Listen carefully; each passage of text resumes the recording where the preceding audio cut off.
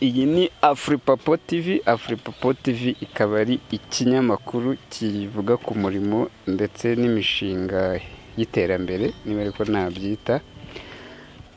Ngewe rero turi kumwe mu munsi nkaba nitwa nowa umutumirwa wacu hano mwatangira mutwibwira hanyuma mukatubwira n'ibyo mukora. Murakoze cyane kumpa ikaze kuri afuripapo tivi ndishimye cyane. Amazina yanjye nitwa rubayiza Emmanuel nkaba ndi rwiyemezamirimo cyangwa bizinesimani nkaba nkora ibijyanye na derivari cyangwa se na derivari ni ijambo rimenyerewe cyane ntekereza ko mu kinyarwanda riragorana kurishyiramo ariko abantu bararimenyereye cyane. Muri make nkora ibijyanye n'ikoranabuhanga mu korohereza abantu kubona ibyo bakeneye. Murakoze cyane hanyuma kampani yanyu yitwa ngo iki igitekerezo cyo kuyitangiriza cyaje gute? Ubundi mukora iki muri rusange? Uretse wenda kuvuga ngo derivari kuko hari kampani nyinshi zikora derivari mwebwe muri bande igitekerezo cyaje gute kandi mukora gute? Urakoze cyane.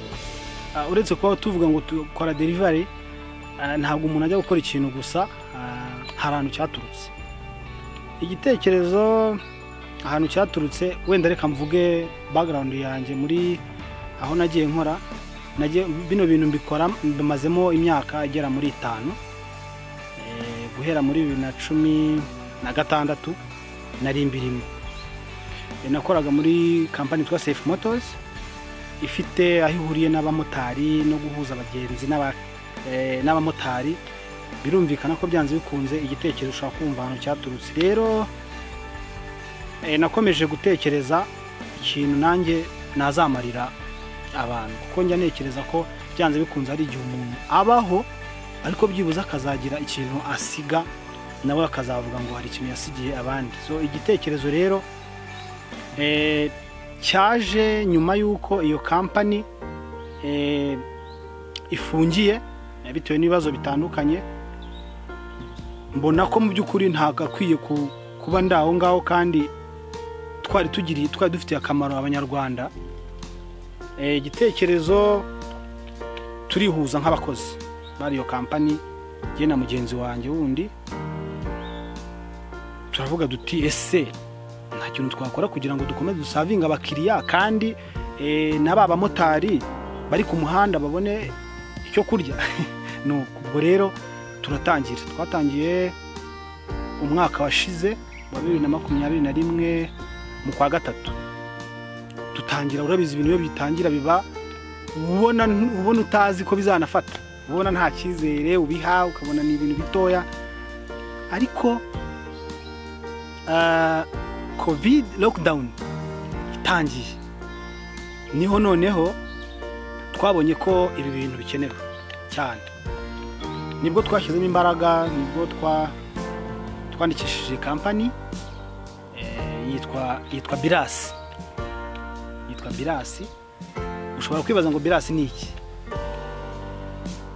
Twabonye ko ibintu byose bishoboka. Birashoboka. Tuyita birashoboka. Kurumva niba agewe narakoraga muri ofisi mugenzi wanjye akora ari nk'umumotari tukagira igitekerezo nk'icyo ngicyo tukanagitangiza. Ni ibintu bikomeye cyane ubyumvise. Nk'umuntu watakaje akazi nk'umuntu w'umumotari nanone urumva ni ibintu nawe utakwiyumvisha. Ariko duhita tuvuga ko ibintu bishoboka. Dutangira nta zina dufite ariko tukaba tuvuga ko bya bintu bishoboka wana duhita tubyita birashoboka. Noneho tugiye kuregisitaringa kampani urumva izina birashoboka ni ikizina nyine gisa nk'aho ari kirekire.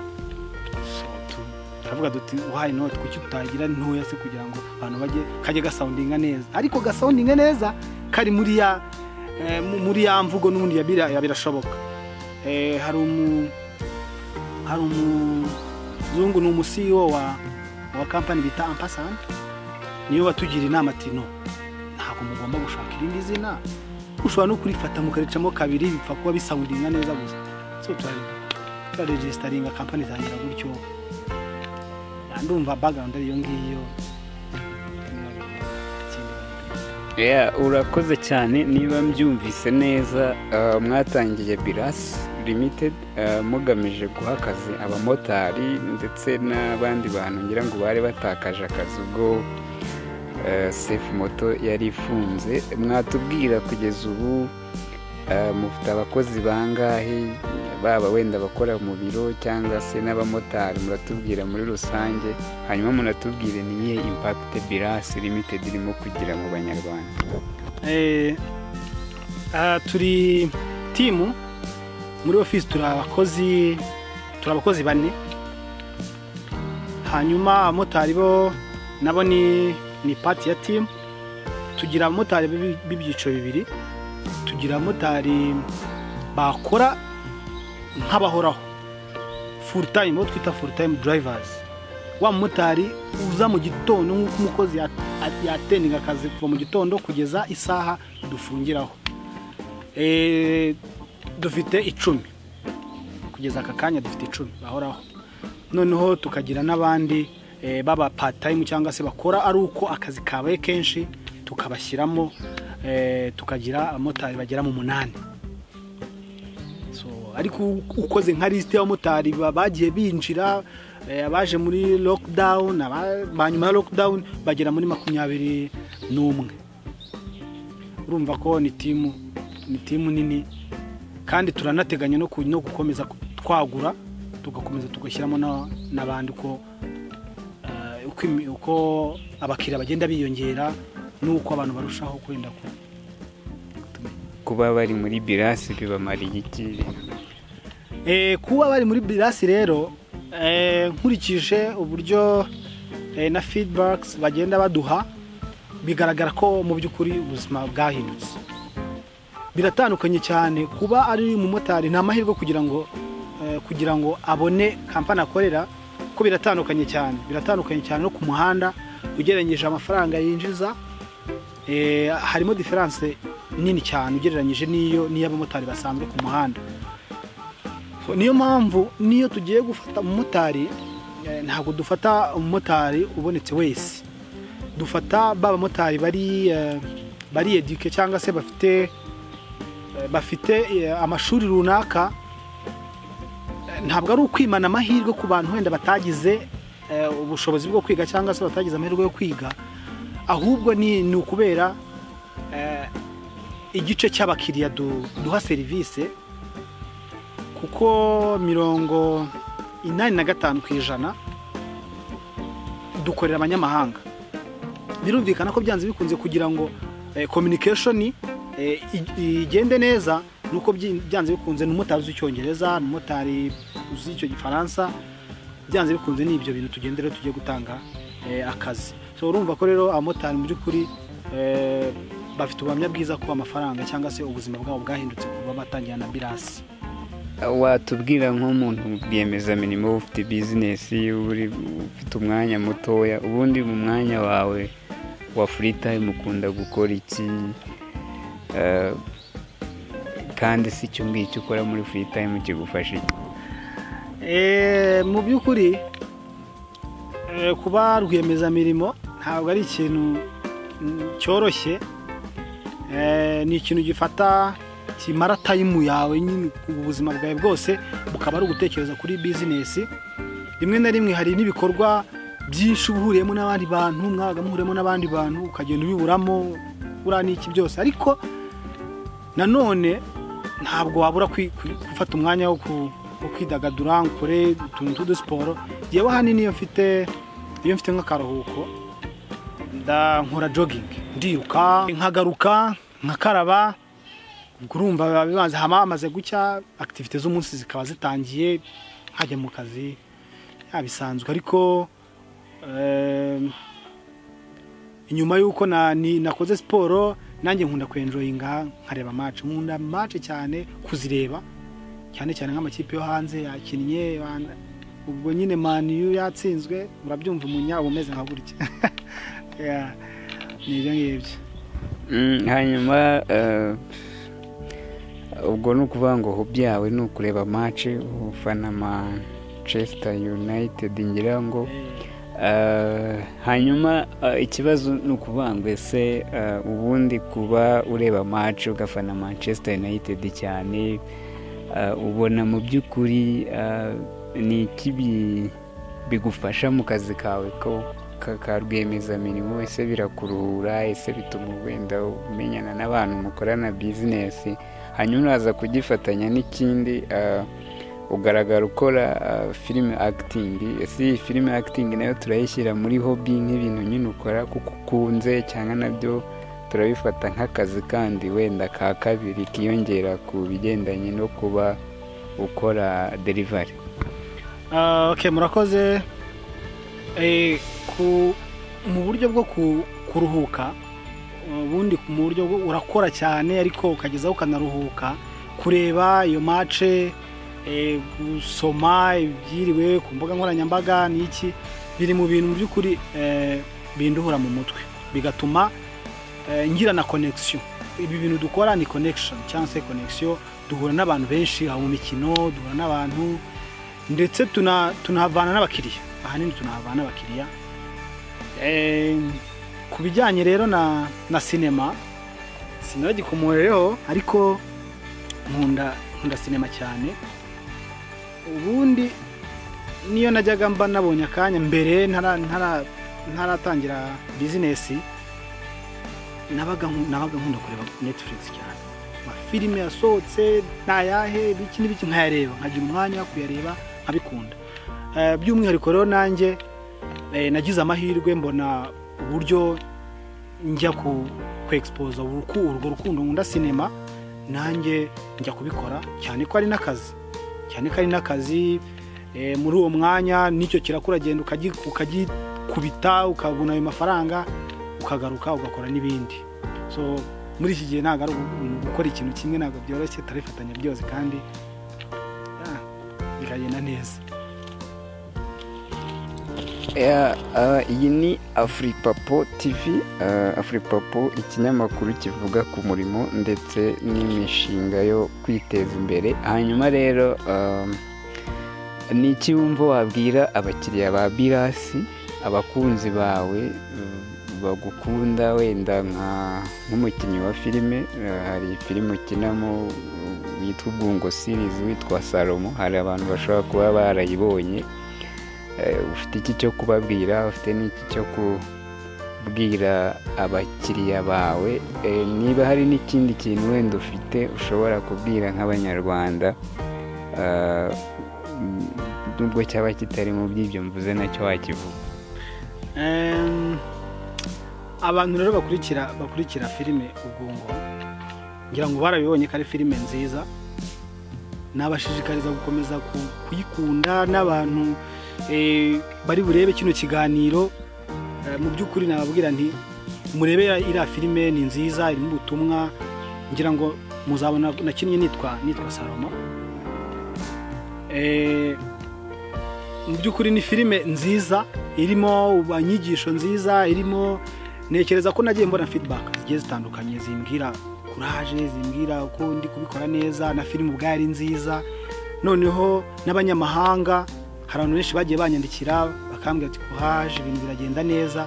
So nabwira rero bakayikurikira ni filime nziza cyane. N'izindi nzagaragaramo kuko na yo ni part of career. Career na yo nzayikora kandi nza- nzakomeza kuba ibintu byiza. Abakiriya banjye bo eh, nabo ndi kubwira bazaba abakiriya banjye ibi bintu dukora biri muri bimwe biri mu bintu bizazamura igihugu. Cyangwa se bikomeje kuzamura igihugu mu rwego rw'ubukungu.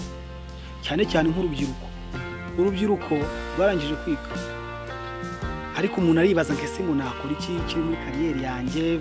Nagira gute? Ibitekerezo abantu benshi barabifite. Ariko nababwira ngo banatinyuke babikore. Nk'uko nanjye nabitinyutse nka- nkabikora kandi bikaza. Upfa kuba gusa washinze akantu niyo kaba gato. Byanze bikunze karazamuka. Rero abakiriya nababwira nti dufite serivisi nziza muzigerageze. Uzigerageze byibuze byibuze. Uyikoresheho rimwe gusa ndakubwira nta yindi kampani uzongera gukoresha. Ndabizi neza icyo niyizeyeho ni serivisi nziza. Nicyo kintu ubundi ni cyo kintu birazi icuruza birasi twebwe ducuruza serivisi. Eh, ducuruza serivisi nziza kabisa. Umuntu ashaka gukorana na birasi abigenza ate? Aha biroroshye. Birasi ifite ifite platforms eh, ifite social media facebook eh, instagram twitter na linkedin zose unyuzeho watwandikira tukabona eh, icyo ushaka kudusaba serivisi ushaka kudusaba twahita tuyibona. Dufite na website. Website ni wawa wa eshatu akadomo birasi doti dwa iyo ni website yacu. Hariho ahantu twashyizemo ushobora kodaringa tugahita tu- tu- tu- tubona request yawe. Ikindi eh, ni, whatsapp. Cyane cyane whatsapp niyo ahanini dukoresha cyane kuko ni na yo abantu benshi bakunda cyane kuko whatsapp iroroshye. Umuntu wese eh, ari aryamye aryamye ari kuri telefoni ari gucata byanze bikunze iyo serivisi yayisaba atarinze ajya ahandi hantu. Urugero niba umuntu wenda ari muri ofisi akeneye akeneye kohereza akantu nkeneye akantu runaka nataye urufunguzo mu rugo ese biragenda bite kugira ngo rungereho? Ese ndasubira mu rugo? Se bose arabireba gute? Wowe kora kuri telefone yawe. Ufite watsapu ufitemo mesaje nta kibazo. Na mesaje ushobora kutwandikira? Eh? nta gafunguzo kanjye hano mukanzanira ahangaha bigahita byoroha. Mm? ufite akantu ufite impano ushaka guha umuntu nk'abantu bakundana. Bajya badukoresha cyane ahantu bakundana akavuga ati ndashaka gutungura sheri wanjye nkamu eh? nkamuha nka ranje akatwandikira ati mungira ahangaha mumfatire akanaka. Yes. Tugahita tubikora ako kanya kandi tukabikora mu buryo buri porofeshono ni ibyo ngibyo rero mutugane ntibongere kwibaza ngo ese ngo ndajya ahangaha ese biragenda bite? Turahari tubigukorere nta kibazo. Ah, bakunzi ba furipapo tv murabyumva rero ko gukorana na birase ntako bisa kandi nyine birashoboka. Ah, inshuti bakunzi ba furipapo tv iyi ni furipapo tv ijwi mwumva ni nowa hanyuma oh, rwiyemezamirimo twatumiye akaba yitwa rubayiza emmanuel oh, yaturutse muri birase limited. Eh, nashaka kukubaza umaze kugira inama urubyiruko rwamaze kwiga ese waba ufite nk'ihame rule of success cyangwa moto mu cyongereza cyangwa se ihame ry'iterambere ndacyari gushaka ikinyarwanda nzabiha ariko ndashaka kubaza buri muntu wese ufite igikorwa cy'iterambere akora eh, ihame ugenderaho rikudarayivinga ushaka kudusheyaringa n'iriya. Eh, ihame ngewe ngenderaho cyane cyane nanajya no gukora eh, kampani natekereje ko ah, udashobora kurira urwego. Kurira urwego washyize amaboko mu mifuka. Ni ibintu bitashoboka. Rero iyo watinyutse ugatangira ikintu. Nicyo kintu nabonye ko nashishikariza abantu niryo hame mu buzima eh, ri- rikora cyangwa se riwakinga gutangira gukora ikintu. Ideas cyangwa se ibitekerezo ni byinshi cyane. Urabizi ko nta muntu utabaza ngo ese urifuza wenda gukora iki? Urifuza kuzamura eh, urashaka kuzakora iki cyangwa se urashaka kuzaba iki? N'umwana n'umwana mutoya n'umwana mutoya iyo umubajije ngo ese uzaba iki? Arakubwira ngo nzaba umuganga nzaba umwarimu nzaba injiniya ariko ntabwo bihagije gusa ni ugutangira. Ni ugutangira ugakora. Gutangira gukora rero ni byo nakubwiye ngo ntushobora kugira gute kurira urwego washyize amaboko mu mifuka. Ubwo muri makeya ihame ngenderwaho cyangwa se moto yawe ni ntushobora kurira urwego washyize amaboko mu mifuka. Yego. Ni icyo ngicyo rwose. Abantu batinyuke bakore. Nanjye ibi bintu najyaga bajyaga babitubwira. Twiga abantu bakaza bakatubwira eh, ukuntu twakwihangira imirimo ukuntu twakora ibintu tuka- tuka- tukazamuka. Ariko ntabwo ntabwo najyaga mbyumva ntarabi- ntarabigeramo cyane. Ubu ngubu ni bwo natangiye kubibona. Ntangiye mvuze ndatangiye ikintu igikorwa ndagitangiye. Nibwo nahise menya ko wa mugani nanjye nkwiye kuzashyira itafari. Nanjye nkwiye kuzakira itafari eh, ku gutanga inama se cyangwa se kugira abantu inama mu ku- mu kugira ibyo bakora cyangwa se mu kugira ibyo bahanga. Ah, ni ibyo ngibyo. Urakoze cyane.